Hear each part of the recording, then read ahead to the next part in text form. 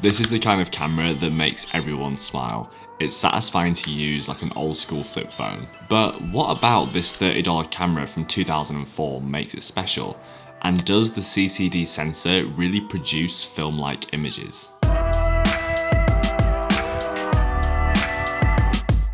Starting with the appearance of this camera, it is quite a peculiar thing. At first glance, the Canon PowerShot S60 is very, very narrow. Never call the bat narrow. It's very, very wide and very, very short. Sorry, sorry.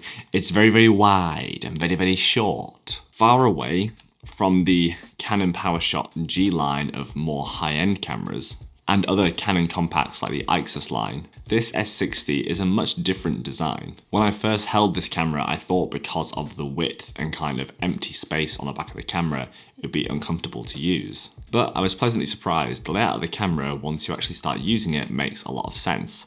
Especially the lens cover that actually activates the camera like an old school flip phone amazing. Then on the back of the camera, we have our LCD screen that is all the way to the left, leaving quite a lot of space over at the right for a kind of flat but useful thumb grip. And this actually means that the excess of the body is great to grip with and also kind of to fidget with while you're walking along on the street ready to shoot. The layout of the back of the camera would feel quite normal when put aside other compact cameras, but because of the small LCD screen and then the much wider length of the body itself, it does kind of feel like we've got a lot of big buttons versus kind of a smart layout of buttons. But alongside our screen, we have our D-pad, our play button, the print button that we for some reason need, display, menu, and then also our zoom rocker that is actually very useful just beside the mode dial and in front of the shutter button. But you may also notice we do not have any physical dials to be able to change our settings with.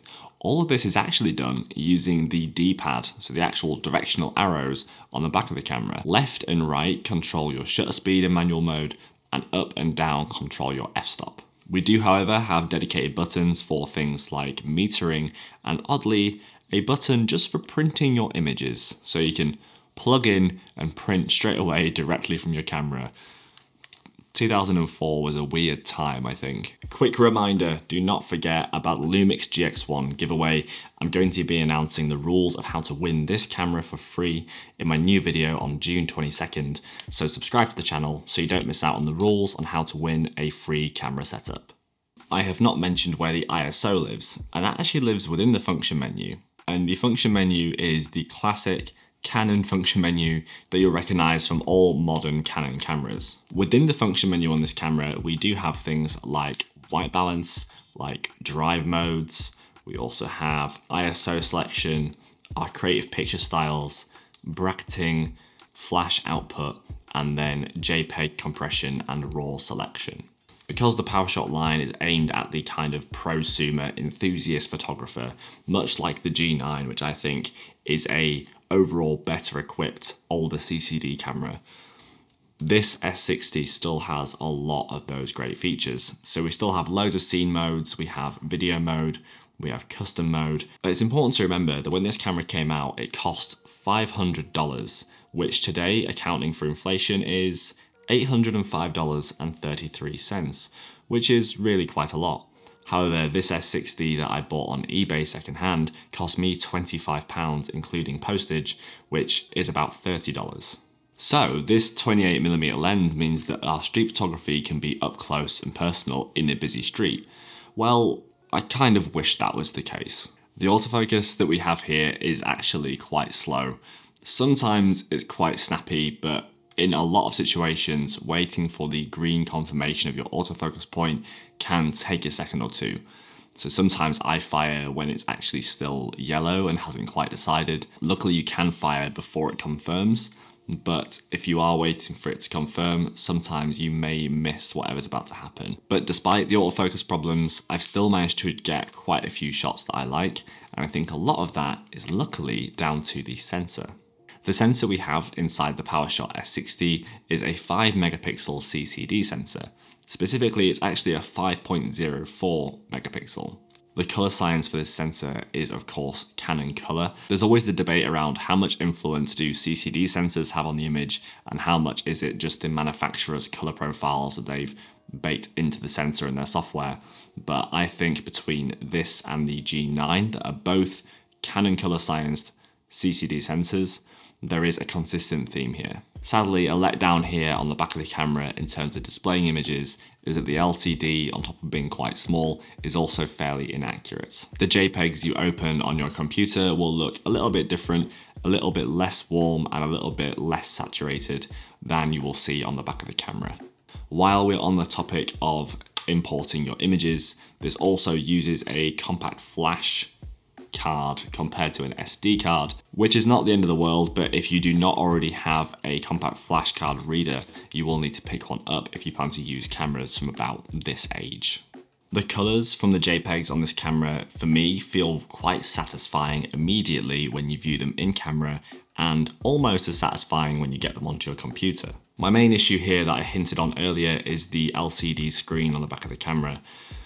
It's small, in low light like this room here, it's quite reliable, but sadly in bright daylight situations, it is very unreliable. The max brightness of the screen does not compete with daylight at all, which is to be expected of an LCD from 19 years ago. But it is a bit of a letdown when you're trying to manual control on a bright sunny day. Inside, very confident in terms of getting a good exposure, but outside, not really. Embarrassingly, until this week, I was convinced that for some reason my camera would not select RAW shooting from the function menu. The RAW shooting mode lives underneath the function menu alongside the compression settings for the JPEG modes. And when you select any of the JPEG modes, you simply hover over them and you press the set button and then that compression is set. But when you go onto the RAW mode, you could press RAW and nothing would happen and then you would power off the camera, come back, and it was back to JPEG again. However, it turns out, luckily thanks to Ototoro from my Discord server, the Megapixels Discord server, they suggested that actually select RAW and then just sort of exit the function menu by pressing function menu again. And then that actually confirmed selecting the RAW mode. And then even when I turn it off and turn it back on again, it is there. So I've only been shooting RAW with this camera for the last couple of days. The majority of the images you're seeing in this video are JPEGs, and then there's a few RAWs. So, RAWs aside, what are the JPEGs like directly out of this camera? Well, they have a 5.04 megapixel resolution, which pixel by pixel gives us a 2592 by a 1944 resolution. And looking at this resolution, you can see that it surpasses HD video, but it falls short of 4K. But that's quite a respectable amount of resolution for anyone that is just posting on social media to be displayed on phones. This lower resolution should not discourage you from picking up an old compact camera like this. 5 megapixels is plenty enough. With the resolution that we have from this camera, sharing on social media is not a problem. And actually when you view your images large on a desktop as well, you realise just how big modern files are of 20, 30 megapixel images. And when you see a 5 megapixel, a lot of the time you think, well, as long as I don't crop, this is perfectly fine. And for me, I rarely crop heavily. And then printing wise, you can still get away with quite large prints, surprisingly. So you can print something like a 12 by 16 inch print, which for metric is 30 by 40 centimeters. Now, in terms of those JPEGs that you might print if you weren't shooting RAW, what can you actually do to get a nice look inside the camera? Well, we have our creative effect. And inside our creative effect, we have contrast that we can move either down by two or up by two. Then we have sharpness with the same parameters and then saturation with the same parameters. However, unlike the Canon PowerShot G9, we do not have the ability to actually shift our RGB channels, our red, green and blue channels. We only have the ability for these kind of blanket corrections. Alongside our basic creative controls like sharpness, contrast and saturation, we also have the ability to change our white balance. We can't change our white balance manually, as in by a Kelvin value. We do actually have quite a handy custom white balance set if you want to get perfect white balance, but if you're trying to go for a specific baked in JPEG look, then you actually can select from different white balance options like daylight, cloudy, tungsten, fluorescent, etc. I have mainly been using it on cloudy, as you'll remember from my trash camera video getting the Fuji look in the Canon G9. To create that Superia X-TRA 400 look, I chose the cloudy white balance option, and actually I found that's been quite a pleasing look for me straight out of camera when shooting JPEGs on old CCD sensors. So the big question about these older digital cameras and the reason why they've kind of become popular again in the last year or so is are these CCD sensor digital cameras from the mid 2000s actually producing film-like images? I think when you shoot with a CCD camera like this, there is this kind of retro throwback to the shooting experience, to the images you get out of the camera, to kind of like the technical limitations that all add towards feeling a bit more like shooting analog film. The whole slide to activate the camera, for me, as well as feeling like a flip phone, feels like my compact film camera from Olympus that activates by sliding open the lens cover as well. Um, so I think if you're used to shooting an old compact film camera like this, like a full auto film camera, then you're gonna have a great time with an old CCD camera like this as well. But I don't know about you, I'm not really satisfied with that answer.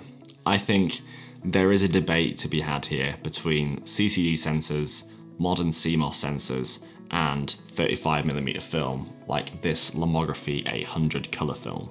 So in next week's video, we're going to be doing exactly that. We're going to be directly comparing images from this G9, from this S60, with Lomography 800 colour film.